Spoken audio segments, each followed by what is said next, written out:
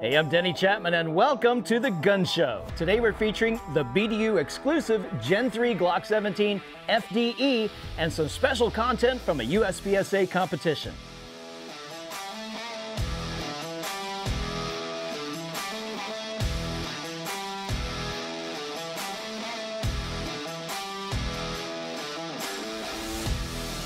Remember, guys, you can always go back and watch this entire episode after the fact on the Gun Show YouTube channel and on xcluded.com, spelled X C L U D E D. Make sure you check it out and subscribe there as well. And thank you for your engagement. You guys have been hitting those buttons like, subscribe, comment, and share, and helping us set a positive 2A algorithm on social media. We really appreciate it. And you can help it right now simply by dropping a note in the comment section and let us know where you're watching from. All right, guys, we're going to kick things off with a split screen point of view video from a USPSA match I competed in last weekend. Check this out. Are you ready? Stand by.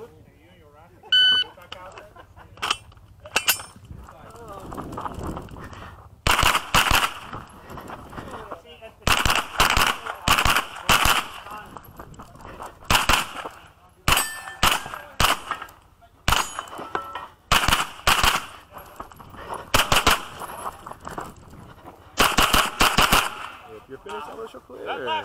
If you're clear, hammer, come on. target. That was a super fun match. I was shooting a brand new custom made pistol caliber carbine from Da Vinci Manufacturing right down here in Florida. And we're planning on bringing you more competition content as well as a feature on Da Vinci guns in the near future. So make sure you subscribe to our YouTube channel and catch all the other great content there as well as on xcluded.com. Now we're going to take a closer look at this pistol right after our safety segment. It's our proud tradition to include gun safety in each and every presentation. So let's take a moment and review the four cardinal rules. Here we go. Rule number one treat all guns as if they're loaded at all times. Number two, never ever point your gun at anything you're not willing to shoot or destroy. Number three is your trigger finger. Keep that finger away from the trigger until you are ready to fire. And number four is your target. Always know your target, what's in front, beside, behind, and beyond that target. The four cardinal rules of gun safety, guys, if you watch this show often enough, you're going to have them memorized and you're going to be a safe and responsible gun owner next time you go out there and enjoy your Second Amendment rights. All right, I'm excited. Let's check this out. This is the BDU exclusive Gen 3 Glock 17 in FDE. Now, the Glock 17 is arguably one of the most widely used 9mm pistols in the world today. We see it in law enforcement, military use. We can count up to 48 countries around the globe that currently use the Glock 17. It was developed back in the 1980s and it uses striker fire technology. This is not a double action pistol. Let's talk about that striker firing a little bit. Striker fired guns, the striker spring is actually cocked during the trigger pull process with Glocks. It's a very interesting process as there's no hammer necessary to hit that firing pin which we call the striker. In this design, the frame of the gun and the overall profile can be smaller because, you know, there's no hammer here. It's not necessary to have that extra space to house that hammer or to have that hammer sticking out here. The frame itself and the magazine body and several other components of the Glock are made from high-strength nylon-based polymer. So this polymer is actually more resilient than carbon steel and even more so than many steel alloys. This pistol shipped with two 17 round magazines and it also comes with a magazine loading device which is pretty cool. Now since I picked this gun up let's talk about safety one more time. We're going to check two times visually and physically with our finger to make sure this gun is unloaded. And by the way, today our cameras are remote and there are no production personnel in this area of the studio today. Producers over that side today, so uh, we're going to be aiming safely in this area with our unloaded gun, which we're going to check right now. No magazine, empty chamber. We're checking twice visually and physically. Magazine's out, chamber's empty. Now we are good to go. Now let's going to check out some of the other features of this pistol right here. It has a four and a half inch barrel. Now, Glock barrels have polygonal rifling. Uh, it's hard enough to pronounce. I'm not sure if I can spell it, but I can tell you what it is. this, the design of the polygonal rifling actually eliminates the traditional grooves that collect that copper, the lead fouling, and the other materials that can eventually affect the accuracy of your pistol. And um, because it's poly polygonal, instead of having those uh, traditional grooves, it also provides a better gas seal behind the bullet as it's traveling down the barrel, and that provides more consistency and helps with accuracy as well. The Gen 3 Glock was the first to include this accessory rail that you can see under the barrel here. Glock calls it the Universal Glock Rail. It's ready to mount your weapon light or your laser. The Gen 3 was also the first to include these thumb rest indentations on either side of the grip and I'll also point out to you guys the takedown lever levers also help to serve as index points for your support hand thumb and your trigger finger when you want to show it up high and off the trigger. And by the way, guys, if you're at the range, it doesn't matter if you're a competition shooter or not. If the gun's in your hand and you intend to have your finger off the trigger, don't just have it hanging around here in the trigger guard, have it up high so that the range officer can look through that trigger guard and see your finger's nowhere near it. And this is a surefire way to show that, no pun intended, surefire, that your finger is off that trigger. Let's give you a little tip while we're at it here, guys. Let's talk about our pistol grip here. So we want a nice and high grip. By the way, the beaver tail and the undercut in the trigger guard allow us the opportunity to have a very nice high grip here. Now with your support hand, here's what you want to do. Don't go back and watch Miami Vice and do the old teacup, guys, because it's not going to provide you with that control and the stability that you need to shoot this pistol. This is not the way to do it. What you want to do is you want to wrap your hand up high, touch the underside of the trigger guard with your support hand, wrap your fingers around. Instead of coming straight back, come up in about a little bit of a 45 degree angle, and you're gonna fill in as much space as possible on the other side of the gun with the palm of your hand. I'm lining my thumbs up, I'm pointing my thumbs in the direction I wanna shoot, and this is gonna give me really um, uh, control, and control means accuracy. Let's talk about some of these other features here.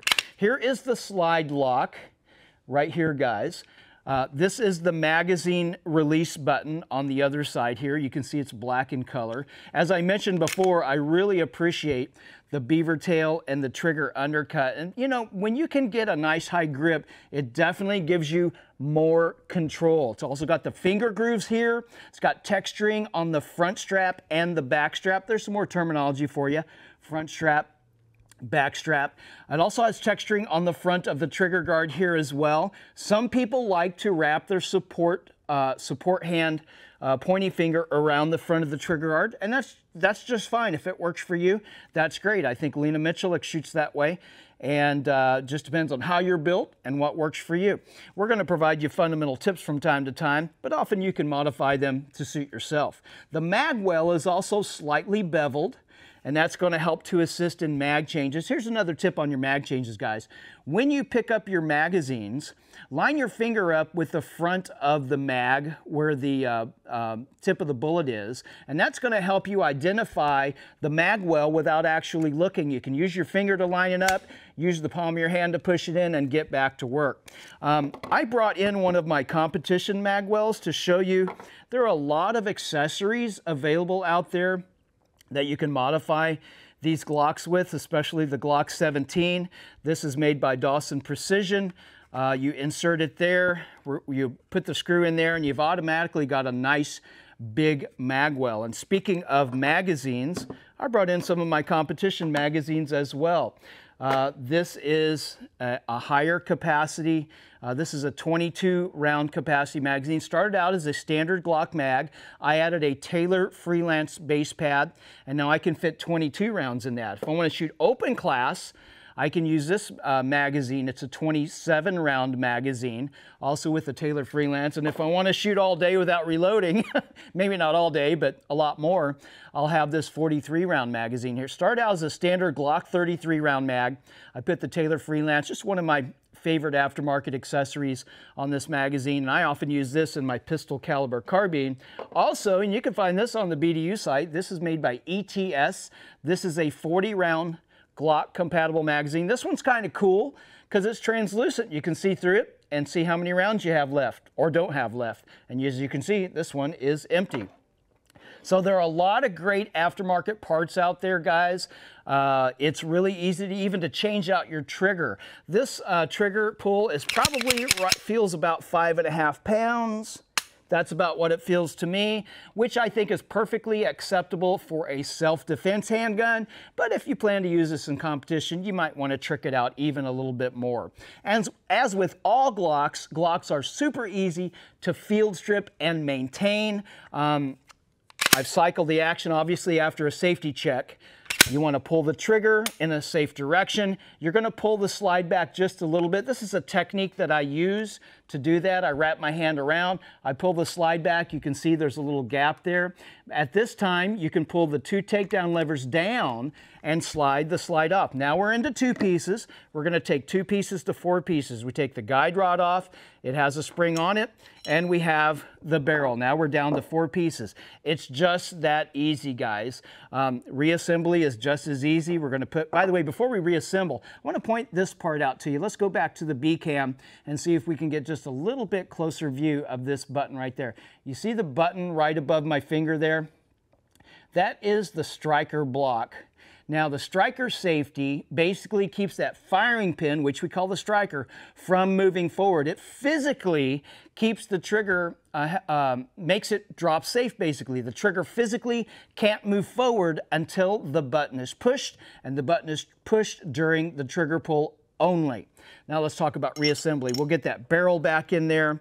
Even with the light shining in my eyes, I've done this so much I could probably do it with my eyes closed and we'll get her all back together. And now we are back in action with the Glock 17 Gen 3 in FDE. What a great gun, guys. Check it out on the Big Daddy Unlimited member site. And if you're not a member, you can hit the link in the description. It's around on your screen here somewhere. You can join BDU today for a membership for 99 cents. You'll have a full 30-day trial membership, full benefits during that time, access to not only this cool product, but over 300,000 other awesome Second Amendment related items on our fantastic website. Guns, ammo, optics, holsters, accessories, survival gear, lots of other cool Second Amendment related stuff, and as a member, you'll have access to our customer service department. We're very proud of these people. They're my friends, live people working right here in our Gainesville, Florida headquarters, take their job very seriously, and they're very proud to take your calls, answer your questions with their expert knowledge, and give you and me that VIP customer service that we expect and that we deserve. All right, guys, my time is officially up. Thanks for watching. We hope everybody enjoyed the show. Have a great day, and we'll see you again soon on The Gun Show.